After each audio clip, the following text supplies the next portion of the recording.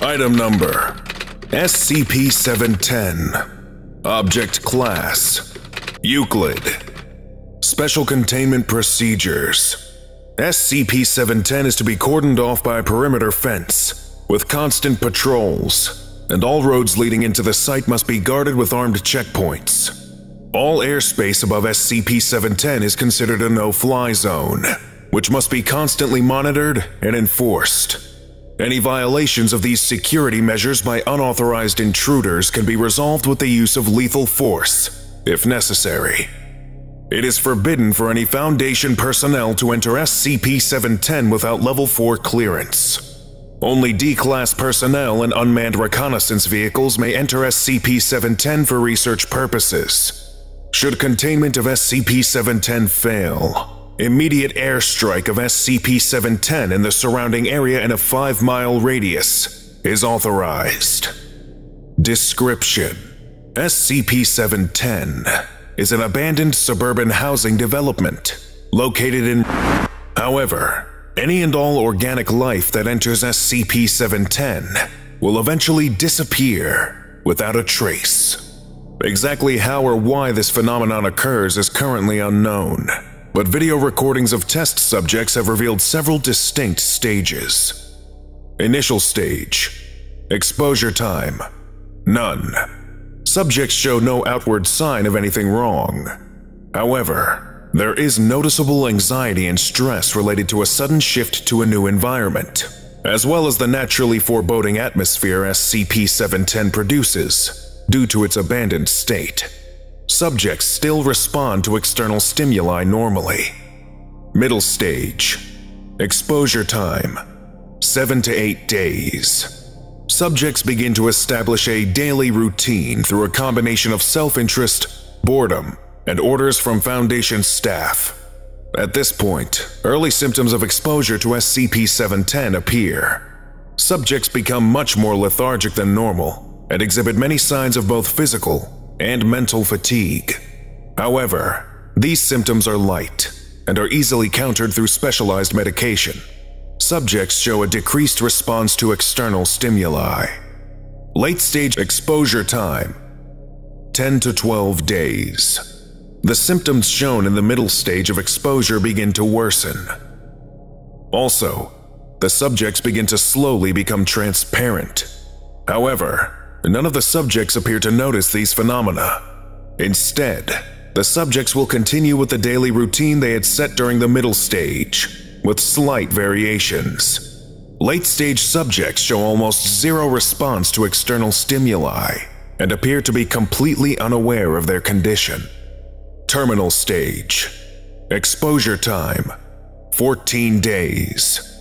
Subjects become completely transparent, with a faint silhouette being the only visual marker of their presence.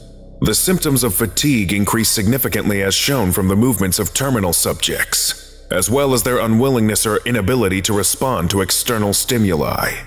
Subjects will no longer follow through with their daily routine and will instead wander SCP-710 aimlessly, still unaware or uncaring of their current condition.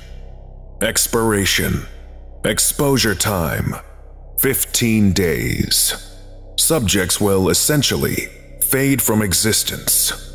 No physical evidence of their presence remains, and attempts to track their movements and whereabouts after expiration have so far proven unsuccessful. So far, there seems to be no way to counteract the effects of SCP-710. Tests with D-Class personnel show that once middle-stage symptoms manifest, the process is impossible to prevent or reverse.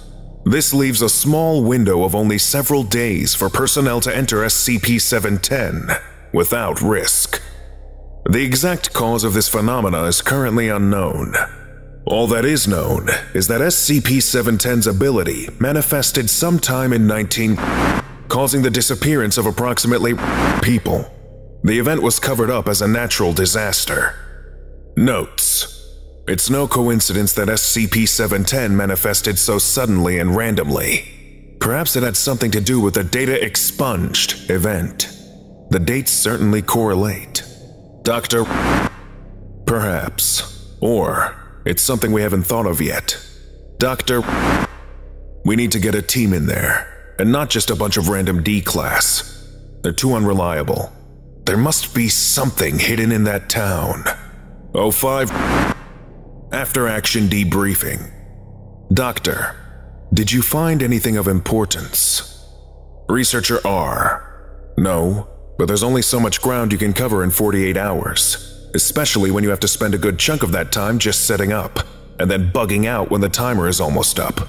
It is a big place, and we need more than half a day to explore any decent portion of it. Doctor, okay, then let's diverge a little. What were your initial impressions of SCP-710? Researcher R. There's something monumentally spooky about that place. Probably the fact that it's so hard to imagine such a big town with so many people could just appear abandoned like that. We also ran into Batch 35, who were all in terminal stage by that point, which scared the shit out of us when we first ran into them. Plus, it was just so quiet. I never thought I would actually miss the sound of birds singing.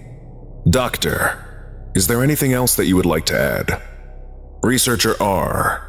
That I never want to go back there again. When the birds don't cry, you can hear things that are better left ignored. Researcher R and his team are currently suspended from active duty, pending the results of a full psychological screening. Lesson complete. If you missed the previous orientation, go watch SCP 709 Eye of the Forest right now. Or for the complete course, watch this playlist.